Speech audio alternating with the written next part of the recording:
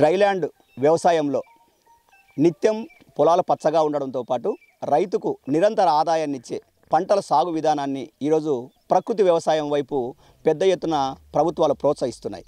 మరి రైతు సాధికారిక సంస్థ ద్వారా ఏదైతే కరువు ప్రాంతము రెండోది నిత్యము నీటి సాగునీటి వనరులు తక్కువగా ఉన్న భూగర్భ జలాలు తక్కువగా ఉన్న అనంతపురం లాంటి ప్రాంతాల్లో రాయలసీమ ప్రాంతంలో ఎక్కువగా ఇలాంటి పంటల సాగు విధానం తీసుకురావడం వల్ల రైతుకు ఎలాంటి ఉపయోగాలు ఉన్నాయి భూమిలోని పోషకాలను కాపాడుకోవడానికి కానీ లవణాలను కాపాడుకోవడానికి ఎలాంటి అవకాశాలు ఉన్నాయి ఈ డ్రైల్యాండ్ ఏదైతే ఉందో దీంట్లో సాగు విధానం ద్వారా రైతుకు ఏమి లాభం?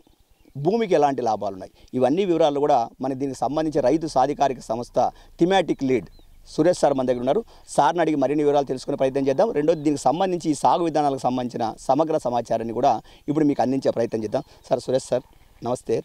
మొదటగా రైతు సాధికారిక సంస్థ అనేది ఒకటి ప్రభుత్వము. కొత్తగా నూతనంగా ఈ విధానాన్ని ఇప్పుడు మనం అమలు చేస్తున్నారు రాయలసీమ ప్రాంతంలో కానీ రాష్ట్ర వ్యాప్తంగా కానీ ఈ రాయలసీమ లాంటి ప్రాంతంలో ఇలాంటి విధానాన్ని అమలు చేయడం వల్ల రైతులకు ఎలాంటి ఉపయోగాలు ఉన్నాయి రెండోది రసాయనిక ఎరువులు క్రిమిసంహారక మందులు తగ్గించి పూర్తిగా ప్రకృతి వ్యవసాయం వైపు అంటే పురాతన వ్యవసాయ పద్ధతిలో పోవడానికి కారణాలు ఏంటి అసలు సార్? ఇప్పుడు ముఖ్యంగా ఈ రాయలసీమలో అండి వర్షాధార పంటలే ఎక్కువగా ఉంటాయి నీటి లభ్యత చాలా తక్కువగా ఉంటుంది. అదేవిధంగా ఈ మధ్యకాలంలో కెమికల్స్ అన్నది విపరీతంగా పెరిగిపోయాయి. దానివల్ల ఆరోగ్యాలు కూడా పాడైపోతున్నాయి. కాబట్టి ఈ దానికి ఇలాంటి దుస్థితికి చెక్ పెట్టాలన్న ఉద్దేశంతో రైతు సాధికార సంస్థ రాష్ట్ర వ్యాప్తంగా ఎన్నో గ్రామాల్లో ఈ ప్రకృతి వ్యవసాయం అనేది అమ- అమలు చేస్తూ ఉన్నాము. దీని ద్వారా ఏంటంటే రైతుకు ఖర్చు తగ్గడము దిగుబడి పెరగడమే కాకుండా నేల స్వరూపం మారుతుంది. సమాజానికి ఆరోగ్యవంతమైన ఆహార పదార్థాలను అందించే అవకాశం ఉంటుంది. తక్కువ నీటి వసతిలో కూడా ఇందాక మనం రైతు చెప్పినప్పుడు విన్నాము. తక్కువ నీటి వసతిలో కూడా ఇరవై రకాల పంటలు ఎలా పండించుకోవచ్చు? మూడు వందల అరవై డిగ్రీలు పంట పచ్చదనంగా ఎలా ఉండాలి? రైతుకు నిరంతరం ఆదాయం ఎలా రావాలి అన్నది కూడా మనం దీంట్లో రుజువు చేయడం జరిగింది. ముఖ్యంగా దీంట్లో ఏంటంటే పిఎండిఎస్ మోడల్ అన్నది సక్సెస్ఫుల్గా రన్ అవుతుంది. ఈ పిఎండిఎస్ అంటే ప్రీ మాన్సూన్ డ్రై సోయింగ్. అంటే వర్షాలకు రా వర్షాలకు ముందు నుంచే మనం విత్తనం వేసుకోవడం వల్ల కూడా మనం పంటలు పండించవచ్చు తక్కువ రెండు తడుల నీటితో కూడా మనము పంటలు పండించవచ్చు మూడు వందల అరవై ఐదు రోజులు పచ్చదనం ఉండేలా మనం చేయడం అనేది జరుగుతుంది. దీనివల్ల ఇంకోటి ఏమంటే మనకు రైతుకు ప్రత్యక్షంగా కనబడేది ఏంటంటే తక్కువ దిగుబడి ఎక్కువ ఆదాయం తక్కువ ఖర్చు ఎక్కువ ఆదాయమే కాకుండా ఎన్నో సామాజిక అంశాలను ఛాలెంజింగ్ ఇష్యూస్ను కూడా ఈ సంస్ ఈ ఈ ప్రకృతి వ్యవసాయం అనేది అడ్రస్ చేస్తుంది ఉదాహరణకు క్లైమేట్ చేంజ్ కానీ తర్వాత వాటర్ స్కేర్సిటీ కానీ ఫుడ్ స్కేర్సిటీ కానీ ఇలాంటి ఎన్నో సమస్యలను కూడా మనము ఈ వి- ఈ విధానం ద్వారా మనం అడ్రస్ చేస్తున్నాము కాబట్టి ఈ ప్రకృతి వ్యవసాయం అన్నది మనము ఈ రైతులు కూడా ఎక్కడో కాదు ఒకరిని చూసి ఒకరు ఇన్స్పైర్ అవుతున్నారు మనం. పక్క పొలంలో చూసి ఒక రైతును చూసి ఇంకో రైతు ఇన్స్పైర్ అవుతున్నారు చేస్తున్నారు. ఈ సురేందర్ రెడ్డి అనే వ్యక్తి దాదాపు ఐదు సంవత్సరాల నుంచి ఈ ప్రకృతి వ్యవసాయంలో పంటలు పండిస్తున్నాడు. గతంలో తక్కువ నీరు వల్ల కేవలము మూడు ఎకరాలు నాలుగు ఎకరాలకు సరిపడే నీటితో ఈరోజు పద్నాలుగు ఎకరాల వ్యవసాయం చేస్తున్నాడు. అన్ని రకాలుగా. అంటే కెమికల్ ఫార్మింగ్లో ఎలాగైతే తక్కువ ఎక్కువ సార్లు నీళ్ళు పెట్టాల్సి వస్తుందో ఇతను తక్కువ సార్లు నీళ్ళతోనే మనం ఇంత ఎకర ఇంత విస్తీర్ణంలో పంటలు పండిస్తున్నాడు. దీనివల్ల మనం ప్రత్యక్షంగా చూస్తున్నాం అతనికి ఇప్పుడు ఎప్పుడో ప్రధాన పంట మీద పెట్టిన ఖర్చు ఎప్పుడో వచ్చేసింది ఆయనకు అంతర పంటల ద్వారా. తర్వాత ఇప్పుడు రాబోయే ఆదాయం అంతా కూడా ఆయనకు దాదాపు ఐదారు లక్షల రూపాయల ఆదాయం ఉంటుంది అంటున్నాడు. ఐదు నెలల కాలంలోనే ప్రధాన పంట మీద వచ్చిన పెట్టిన పెట్టుబడి అంతా రావడంతో పాటు భవిష్యత్తులో కూడా ఇంకా ఐదారు లక్షలు వస్తుందని ఎక్స్పెక్ట్ చేస్తున్నాడు. చాలా సంతోషించదగ్గ విషయం ఇది. అందరూ కూడా దీన్ని ఫాలో కావాల్సిన అవసరం ఎంతైనా ఉంది సమాజం కోసం.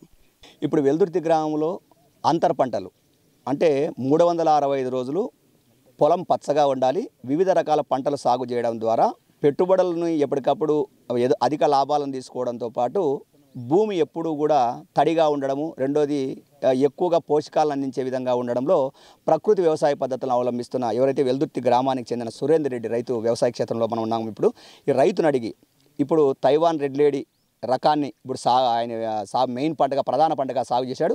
ఈ పంటలో ఏం చేశాడంటే ఆకుకూరలు కూరగాయలు సంబంధించిన వివిధ రకాల పంటలన్నింటి కూడా ఇందులో సాగు చేసి ఇప్పటికే దిగుబడులను సాధించి పెట్టిన పెట్టుబడిని పూర్తిగా అప్పుడే చేతికి తీసుకున్నాడు. అంటే పూర్తిగా ఇప్పుడు ఏదైతే ఈ బొప్పాయి మీద వచ్చే లాభం అంతా కూడా పూర్తిగా రైతు చేతికి అందుతుంది. కాబట్టి దీనికి సంబంధించి ఈ సాగు విధానం వల్ల రైతుకు ఎలాంటి లాభాలు ఉన్నాయి రసాయనిక ఎరువులు క్రిమిసంహారక మందుల వల్ల ఉపయోగాలు ఉన్నాయా ప్రకృతి వ్యవసాయంలో పోవడం వల్ల రెండు ప్ర- ప్రకృతి వ్యవసాయ సిద్ధంగా కొట్టే ఏదైతే జీవామృతాలు ఇలాంటివి ఉంటాయి వీటి వల్ల లాభాలు ఉన్నాయనేది రైతు అనుభవాలని స్వయంగా మీకు అందించే ప్రయత్నం చేస్తాను ఇప్పుడు సురేందర్ రెడ్డిని మీకు ఇప్పుడు పరిచయం చేస్తున్నాను సురేందర్ రెడ్డి గారు ఈ నమస్తే. ఇప్పుడు ఈ ప్రకృతి వ్యవసాయంలో మీరు చేస్తున్నారు. ఒక ఐదేళ్ళ కాలంగా మీ పొలంలో చేస్తున్నారు.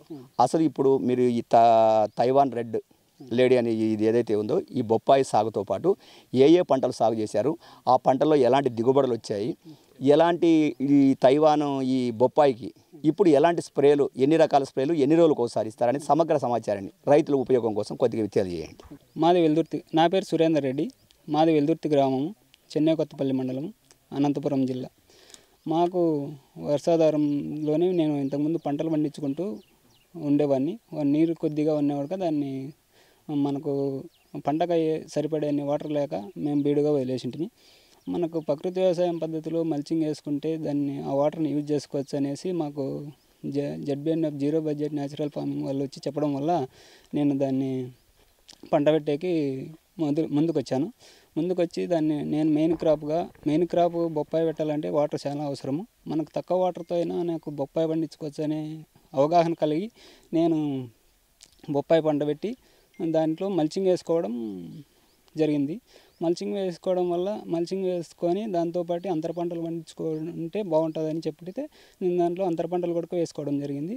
నాకు మెయిన్ క్రాప్ బొప్పాయి బొప్పాయి పంతొమ్మిది వేలు పెట్టి మొక్కలు తెచ్చి మొక్కలు పెట్టుకున్నాను. దాంట్లో అంతర పంటలకు అంతర పంటల కింద పద్నాలుగు పదహైదు రకాలు వేసుకున్నాను. కాయగూరలు పంటలు కాయగూరలు ఆకుకూరలు గడ్డ జాతి ఇలాంటి రకరకాలు వేసుకున్నాను. మనకు ఆకుకూరలు ఇరవై ఇరవై ఐదు రోజుల నుంచి ఇన్కమింగ్ వస్తుంది. ఆ తర్వాత గడ్డ జాతిలో ముప్పై రోజులు నలభై రోజులకు యాభై రోజులకు అలా స్టెప్ బై స్టెప్ మళ్ళీ కాయగూరలు మూడు నెలలకు మూడున్నర నెలలకు అలా కంటిన్యూషన్ మనకు ఆదాయం ఇన్కమింగ్ ఉంటుంది అనేసి చెప్పడం వల్ల నేను అన్ని ఇంటర్ కాపు మొత్తం అన్ని పద్నాలుగు పదహైదు రకాల దాకా అంతర పంటలు వేసుకున్నాను.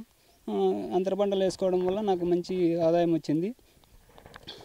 మనకు ఆకుకూరలు ఆకుకూరలు దీనిలోనే మనకు పదహైదు రోజులు ఇరవై రోజుల నుంచి ఆదాయం రావడం వల్ల మంచి మనకు కొత్తిమీర కొత్తిమీర మెంతి ముల్లంగి ముల్లంగి ఫార్టీ ఫైవ్ డేస్ ఫిఫ్టీ డేస్కి వస్తుంది. ఆకుకూరలు వచ్చేసి ట్వంటీ ట్వంటీ ఫైవ్ డేస్ నుంచి కంటిన్యూషన్ వస్తుంది. ఆ విధంగా అట్లే కంటిన్యూషన్ మనకు కూరగాయలు వచ్చేసి మూడు నెలలకు వస్తాయి. అట్లా అలా మనకు మై మెయిన్ క్రాప్ పంట దిగుబడి వచ్చే టయానికి ఇవన్నీ మనకు ఆదాయం వస్తుందని వేసుకోవడం వల్ల నాకు దీనిలోనే మనకు నాకు దాదాపు ఇప్పటికి డెబ్బై ఎనభై వేల దాకా అంతర పంటల ధర వచ్చింది. అలాగే గ్రౌనెట్ కూడా వేసుకున్నాను. గ్రౌనెట్ కూడా పది పదహైదు వేల దాకా గ్రౌనెట్లోనే వచ్చింది. ఇలా మనకు మెయిన్ క్రాప్ వచ్చే ఇప్పటికి నాకు మెయిన్ క్రాప్ పెట్టేసి ఐదు ఐదు నెలలు అవుతుంది ఐదు నెలలని ఐదు నెలలకు ఇప్పటి నుంచి మెయిన్ క్రాప్లో మనకు ఆదాయం వస్తుంది. ఈ మెయిన్ క్రాప్ అంతా నాకు ఇంతకుముందు కెమికల్లో పెట్టేటప్పుడు కె- పెట్టుబడులకును లేబర్ కూలీలకే ఎక్కువ పెట్టుబడి పెట్టేవాడిని. ఇప్పుడు నాకు లేబర్ కూలీ అనేది ఏమాత్రం లేదు. ఆ లేబర్ కూలీ మిగిలిపోయింది. ఇప్పుడు నాకు పెట్టుబడి మెయిన్ క్రాప్కి పెట్టిన పంట దిగుబడి మెయిన్ పంటకు పెట్టిన పెట్టుబడి కూడా నాకు ఏం పెద్దగా రాలేదు. ఒక ఇరవై వేలు దాకా వచ్చింది అంతేనో? ఆ ఇరవై వేలు కూడా ఎప్పుడు వెళ్ళిపోయింది. నాకు ఇప్పటికే నేను మిగులుబాటులో ఉన్నాను. ఇప్పటి నుంచి నాకు మెయిన్ క్రాప్ వచ్చే పంట నాకు దాదాపు రేటు తక్కువ తక్కువగా వేసుకున్నా కూడా మినిమం నాకు నాలుగైదు లక్షల దాకా వస్తుందని అవగాహన కల్పిస్తున్నా. అసలు మల్చింగ్ అంటే ఏంటి అని మల్చింగ్ అంటే పేపర్ వేస్తారు అని రైతులు అనుకుంటారు. కానీ మల్చింగ్ అంటే మీరు వేసే మల్చింగ్ వేరు. మన ప్రకృతిలో ఏం మల్చింగ్ ఏమేంటి ఉపయోగిస్తాము మీరు ఈ బొప్పాయికి సంబంధించి ఎలాంటి మల్చింగ్ వాడారు? స్ప్రేలు. ఏమేమి స్ప్రేలు చేస్తారు? ఎన్ని రోజులకు ఒకసారి చేస్తారు? రెండోది ఈ పంటకి ఏదైతే కీటకాలు కానీ ఈ వైరస్ కానీ ఆశించకుండా ప్రకృతి వ్యవసాయంలో మీరు పోయినప్పుడు ఓకే ఇప్పుడు ఎట్లా మీకు మార్పు ఏం కనిపిస్తుంది? అసలు ఏమేమి ఇది చేస్తారు? పిచికారీ చేస్తున్నారు అసలు మల్చింగ్ అంటే మనకు పేపర్ మల్చింగ్ అని అనుకుంటారు. మల్చింగ్ పేపర్ మల్చింగ్ అయితే మనం ఏము పేపర్ మల్చింగ్ వేయడం వల్ల మనకి ఎటువంటి యూజ్ ఉండదు. ఓన్లీ కలుపు ఒకటి రాదేమో అంతేగాని మనకు చెట్టుకు అనేసి చెట్టుకు అయితే ఎఫెక్టివ్ వస్తుంది. మనకు మనకు పంట వ్యర్థాలు ఏదైనా కానీ గ్రౌండ్నట్ పొట్టు కానీ గ్రౌండ్నట్ కట్టి కానీ ఇలాంటిది.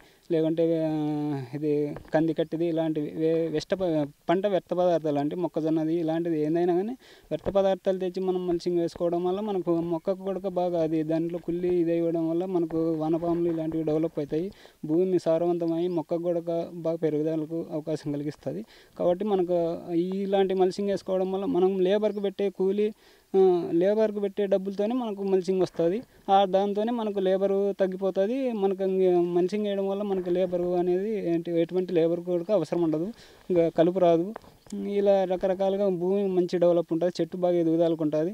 మనకు అన్ని ప్రకృతి వ్యవసాయ పద్ధతిలో మనం ఘనజీవామృతం ద్రవజీవామృతం ఇవ్వడం వల్ల వానపాములు డెవలప్ బాగుంటుంది. ఇలా మల్చింగ్ ఈ మల్చింగ్ పంట వ్యర్థాలు వేస్ట్గా పాడేసి కాల్చేయడం వల్ల ఇలాంటి దానికి యూజ్ చేసుకోవడం వల్ల చాలా రైతుకు కూడా బాగా మంచి ఆదాయం ఉంటుంది. నేను మొక్క పెట్టుకొని బూడి చేసేటప్పుడు ఘనజీవామృతం వేసి అందులో మనకు చెట్టు చెట్టు మొదలు చెట్టు బూడి చేసేటప్పుడు ఘనజీవామృతం ఒక చెట్టుకు ఒక త్రీ హండ్రెడ్ గ్రామ్స్ వేసి మొక్కలు నాటాను. ఆ తర్వాత మనకు నేను ఫిఫ్టీన్ డేస్కి ఒకసారి ద్రవజామృతం ఇస్తామన్నమాట. మనకు స్ప్రే కానీ చెట్టుకు మొదల దగ్గర కానీ కంటిన్యూషన్ పదహైదు రోజులకు ఒక స్ప్రేయింగ్ ఇచ్చినామంటే మనకు ఎటువంటి రోగము రాదు. నాకు కెమికల్ నేను గమనించింది ఏమిటంటే కెమికల్ ఫీల్డ్లో కెమికల్ కొట్టి ఇది చాలా పెట్టుబడులు పెట్టిన వాళ్ళకు కూడా వైరస్ కంట్రోల్ కావట్లేదు. మన జెడ్బెన్ పద్ధతులు మనకు నేను పుల్లటి మజ్జిగాను ఇలా రకరకాల జీవామృతము కంటిన్యూషన్ పదహైదు రోజులకు ఒక స్ప్రేయింగ్ ఇవ్వడం వల్ల నాకు వైరస్ కూడా కంట్రోల్ అయింది. నేను ఇప్పటికి ఐదు నెలలకు కలిసి పద్నాలుగు పదహైదు స్ప్రేయింగ్లు ఇచ్చాను. దాంట్లో కంటిన్యూషను జ- ద్రవ జీవామృతము పుల్లటి మజ్జిగ కంటిన్యూషను ఇచ్చాను. మధ్యలో ఒక స్ప్రేయింగ్ మట్టి ద్రావణం స్ప్రేయింగ్ చేశాను. ఒకసారి పచ్చి పాలును పసుపు కలిపి ఒక స్ప్రేయింగ్ ఇచ్చాను. మళ్ళీ ఒకసారి నీమాశ్రం స్ప్రేయింగ్ చేశాను. మళ్ళీ ఇంకా పంచగవ్యాను జీవామృతం కలిసి ఒక స్ప్రేయింగ్ ఇచ్చాను. ఇంకా డ్రిప్ ద్వారా మూడు మూడు త్రీ టైమ్స్ డ్రిప్ ద్వారా వదిలినాను. చెట్టు మొదల దగ్గర ఒకసారి పోపించాను ఇలా ఏదో ఒకటి ద్రవ జీవామృతం చెట్టుకు మొక్కకి ఇచ్చామంటే మనకు చెట్టు ఎటువంటి రోగానికి గురి కాకుండా ఉంటుందని నా ఉద్దేశం. నేను ప్రధాన పంట బొప్పాయి మొక్క పెట్టిన తర్వాత అంతా ల్యాండ్ అంతా మల్చింగ్ వేసి కంప్లీట్ చేసుకున్న తర్వాత నాలుగు రకాల నాలుగు ఐదు రకాల గడ్డజాతి మొక్కలు ఇత్తనాలు తెచ్చుకున్నాను.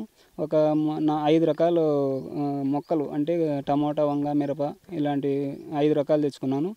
ఆకుకూరలు వచ్చేసి ఒక ఐదు రకాలు తెచ్చుకున్నాను. ఆకుకూరలు వచ్చేసి కొత్తిమీర మెంతి ఆ, పలకలాకు అంటే పాలకూర గోంగూర ఆ, చుక్క చుక్కాకు కొయ్యగూర ఇలాంటివన్నీ విత్తనాలు తెచ్చుకొని పెట్టుకొని ఆ, తర్వాత అవి మల్చింగ్ వేసేసి మల్చింగ్లో చల్లేసాను అనమాట ఆకుకూరలను నేను.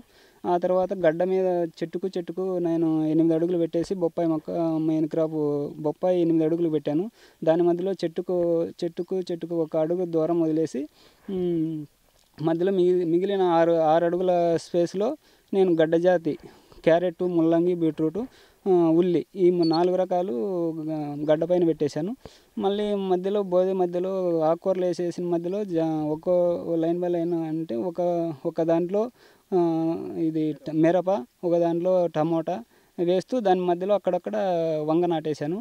మళ్ళీ ఇంకా ఇంకా సైడ్ గడ్డకు గడ్డకును దీనికి గడ్డకును సాలుకు సాలుకు మధ్యలో ఇది మనకు ఒక, మిరపను టమోటా పడే మధ్యలో క్యార ఇది గోరుచిక్కుడును బెండ వేసి ఇలా రకరకాల పంటలు పెట్టుకోవడం జరిగింది. సార్ నమస్తే సార్. మాది వెల్దుర్తి గ్రామం సీగేపల్లి మండలం అనంతపురం డిస్టిక్. మేము ఓన్లీ సేంద్రీయ వ్యవసాయం కోసమే పశువులు నాటి ఆవులు అనే దేశీ ఆవులు పెంచుకుంటున్నాము. ఒక ఆరు ఆవులు ఉన్నాయి. అవి మొత్తం షెడ్ తయారు చేసుకొని దాన్ని స్టోరేజ్ మూత్రము పశువుల పేడ తీసేసి డైలీ మామూలుగా వారానికి ఒకసారి అదంతా కలిపి పల్స్ పౌడర్ అని అది పిండి పేడ ఇది బెల్లము మట్టి పుట్టమట్టి కానీ ఏదైనా కొంచెం వేసి దాన్ని తయారు చేసుకొని అదంతా యూజ్ చేసుకొని ఆరబెట్టి బాగా తెచ్చి చెట్లకు వేసుకుంటాం సార్. వారానికి పదహైదు రోజులకు ఒకసారి. అది మాకు మంచి దిగుబడినిచ్చి మంచి ఆదాయాన్ని ఇస్తున్నాయి.